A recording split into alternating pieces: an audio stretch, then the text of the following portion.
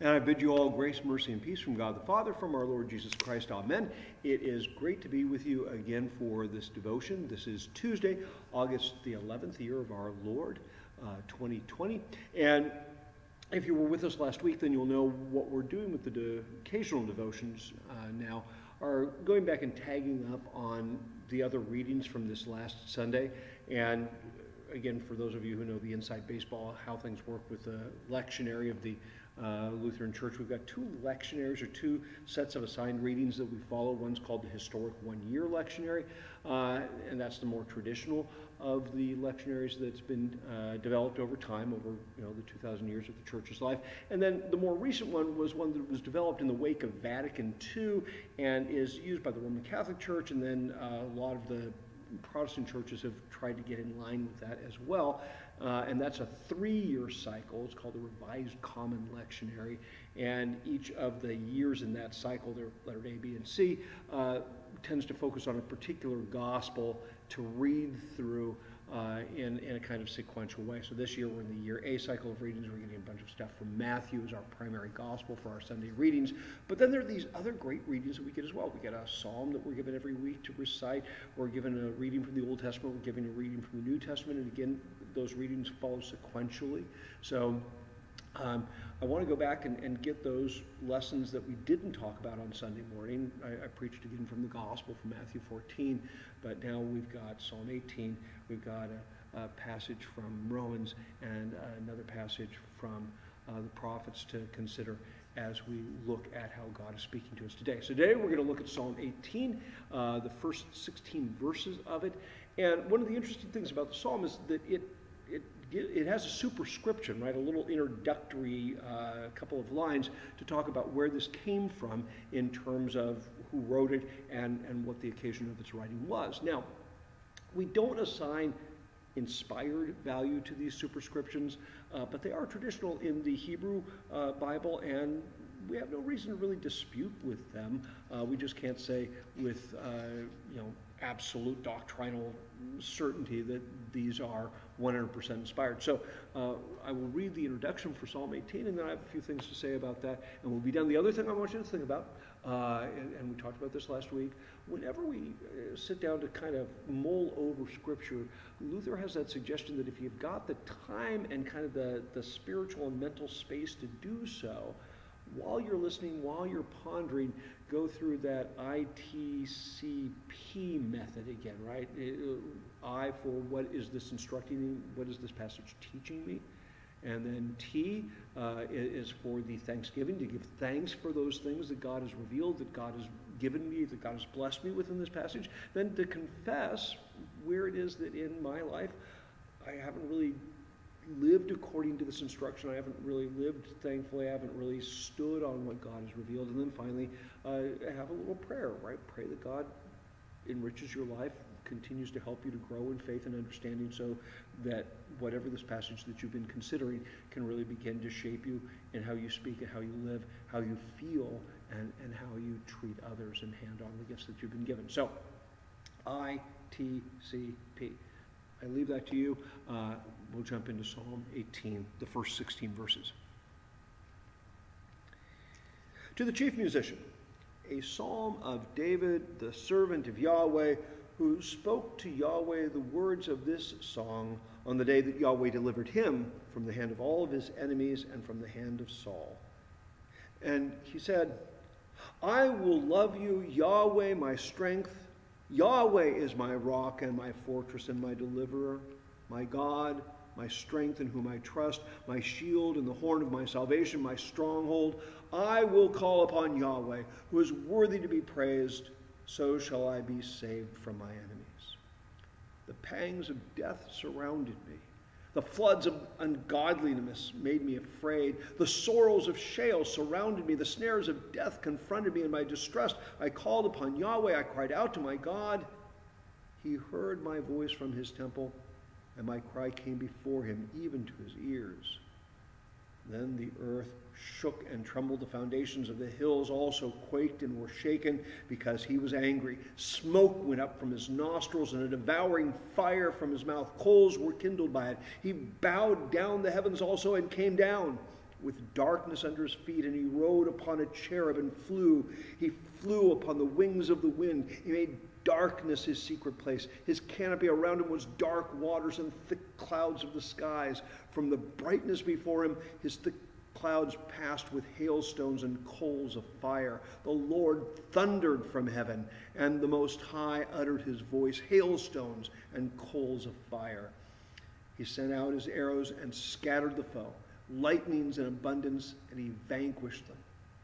Then the channels of the sea were seen, the foundations of the world were uncovered. At your rebuke, O Lord, at the blast of the breath of your nostrils, he sent from above, he took me and drew me out of many waters. Well, all very dramatic and stirring, right?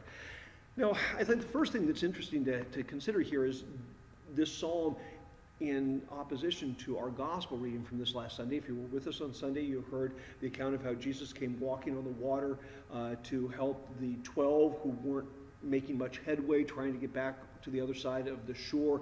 It was 3 a.m. in the morning. It was dark. They'd been rowing for hours and hours. And, and Jesus came walking to them in the midst of the darkness. And it was about a three or four mile walk if we have our measurements correct. So it, it wasn't, you know, this thing where Jesus flew to them with great power and glory and lightning and all that. He came out to them as a man, albeit walking on water, that's a, a, little different. But he came to them as a man, and he simply said, Take courage, do not be afraid, it, it's I. And, and that stands in kind of lovely contrast to what David describes Yahweh doing for him when David cried out in his just distress. So uh, if you remember, uh, King Saul took a dislike to David, seeing him as a rival after uh, Yahweh had announced to Saul that he was not going to be established in a dynasty because of his faithlessness. And Saul was chasing David around in the wilderness and trying to, to kill him on a number of occasions. And David prayed to Yahweh, and Yahweh delivered him. And what's interesting is that deliverance is described in terms of the way that Yahweh delivered Israel from Egypt, right? The, the sending out of the fiery hailstones, the opening up the waters with the blast of the nostrils. You, you remember the plagues that uh, God manifested in Egypt to convince Pharaoh to let my people go. So you've got this glorious, powerful, robust, energetic work that God does with the fire from his nostrils and his anger as he comes down and, and stretches the heavens out to come to David and, and pull him up out of the, the waters and the troubles that he was having, uh, opposed to Jesus, who just kind of walks out at 3 o'clock in the morning and says, Hey, I'm here. I'm here to help. Don't be afraid. And I think one of the things that speaks to is our longing in the midst of our troubles, right? We want God to do something decisive in our lives. We want to see God riding on the winds of the wind, the wings of the wind, and, and riding on the cherub and coming to us with the thick darkness and the clouds and the thunder and the lightning to deliver us from our enemies, so that we know definitively God is with us, God is on our side, God is doing what it takes to, to give us the salvation that we need. And that is going to happen at the last day, right? We, we know that Jesus will come again in glory on clouds with great power and strength, and all the enemy will be vanquished once and for all. But for now, in these times between Jesus' death and resurrection and ascension to the right hand of power and the last day when he comes again, in these times, the primary work of Jesus is not just to deliver us from our enemies, but he's still gathering those who can be gathered into his kingdom. And so rather than acting with great force and anger and power and you know all sorts of scary bolting lightning stuff, Jesus oftentimes comes in, in the small and the subtle and the quiet ways. He is humble and lowly and gentle and righteous and having salvation. He comes to us. And we mustn't discount those times when he comes to us quietly and gently in the dark hours of the night in ways that we didn't expect, in ways that don't always seem spectacular, because he still comes to be with us, and he still offers us all the grace and the power and the comfort that we need for that moment. Um, if, if, we go back and, and, take a look at the Hebrew, a couple of things that stood out for me there were first uh, when David describes the Lord uh, as my uh, rock and my strength, right? It, it's, it's that image of the rock is, is important because we understand that you know, Jesus is the rock of our salvation. He is that cleft rock in which we receive grace. He is the rock out of which living water flows.